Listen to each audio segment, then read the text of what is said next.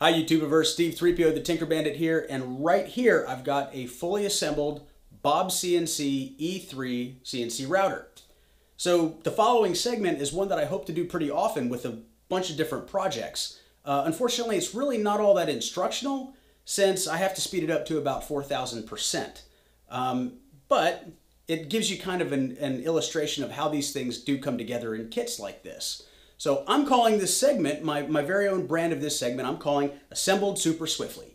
And what it's meant to, um, hmm, okay, I might have to rethink that. Um, tell you what, let's just abbreviate it down, and that way we capture the, um, hmm, okay, whatever. Just enjoy my ass video.